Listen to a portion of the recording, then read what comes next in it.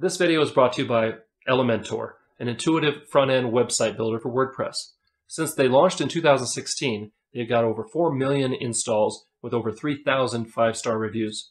So what are you waiting for? Get yourself a website that you're proud of, click the link down in the description, and you'll help out the channel and you'll help out yourself. In the meantime, on to the show!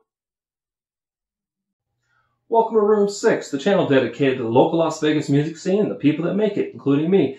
I'm Josh, and today we're looking at one of the key methods for monetizing your music distribution. We'll talk about what it is, how it works, and how to get it. Get ready to take some notes, kids, because it's time to take your music global.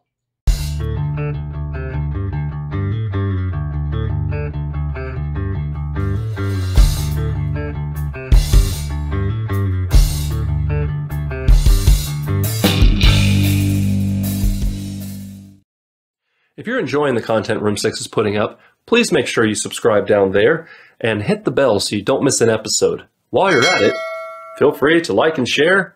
And uh, yeah, let's go. In the age of COVID-19 and social distancing, making money while making music isn't what it used to be. Instead of booking gigs and selling merch at shows, musicians are transitioning to live streaming concerts for donations, and setting up online stores. One option that hasn't changed, however, is the ability to sell your music worldwide by using distribution. what the heck is distribution anyway? According to Heather McDonald from the website thebalancecareers.com, music distribution is the way that the music industry makes recorded music available to consumers. It's a core aspect of its business model and it makes it possible to purchase most music in stores or download or stream it online. While this statement does a pretty good job of describing what a distributor does, it doesn't exactly break down what they do. Let's dive in. Generally, a distributor works with a record label to sell that record label's products. Distribution companies are the links between labels and retail outlets including record stores and anywhere else you might buy music or merchandise. Depending on the situation, the distributor might just buy the album outright from the label, setting up their own contracts with the retail outlets on the back end. Other times, a consignment might be arranged either way, and the distributor typically makes two deals to get product in consumer hands. Now, that's the way it used to be but with the advent of music downloads,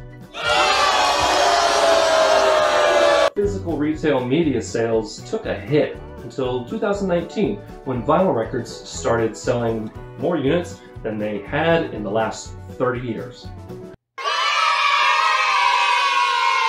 How did this change the distribution dynamic? Well... Denied. First, most of the distributors closed with only the few affiliated with the major record labels hanging on thanks to their access to Amazon, Spotify, and other online streaming services. Then, the ever-growing DIY movement of artists got a huge boost from Chance the Rapper's 2019 Grammy win, a history-making event that showcased the complete digital sales record. Distributing directly to consumers is even available on iTunes and Spotify now. Looking to the future, distribution of physical copies of your work is still needed, though on a lesser scale. This necessitates that distributors work with digital outlets as well as brick and mortar sites. As you can see, today's distribution deals are very different from the contracts of yesteryears, which leads me to the next topic. How do you get a distribution deal? This is just a brief overview, but the steps are fairly self-explanatory. We start with number one. Ideally, have a label on your site already. A distributor wants to know that you have a framework in place able to consistently provide product as it gets placed in outlets by them. Number two, shop them like a label. Instead of sending a distributor your demo, you'll be sending them the finished product that you're hoping to place in stores. Pick and choose who gets your business by doing your research on some of their other clients. Number three, make your pitch.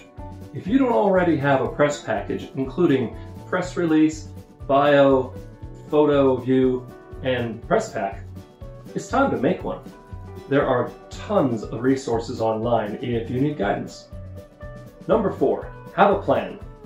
If you can't afford to hire a professional PR company or radio plugger, have a professional promotional plan ready to show distributor that you mean business.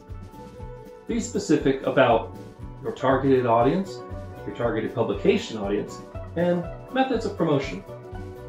Number five, get down to the details. How many releases will the distributor want to start? How will they handle reordering? Who pays for manufacturing? What's the distributor's cut? These questions and many more need to be addressed in writing before a deal can be finalized. Number six, what's your type? There are many different types of distributor ranging from indie to major label. But for pitching purposes, there'll be two you need to know. Clearinghouse and Selective. Clearinghouse works with pretty much anyone, while Selective is, well, selective. They pick and choose who they deal with. For more information, do an online search for these terms. Whether you're trying to sell your first album or trying to open an existing market, distribution is becoming more and more necessary in these uncertain times.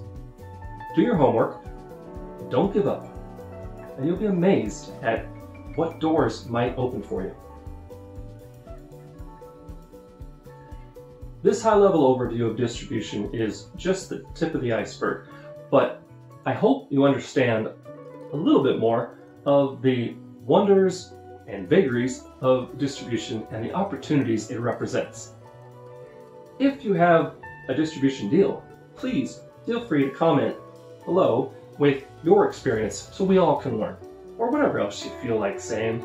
In the meantime, if you'd like to see more videos like this, please click up here.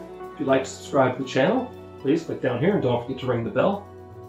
Appreciate you watching. Remember to stay amazing, stay safe, stay strong, stay making music. I'll see you next time on Room 6.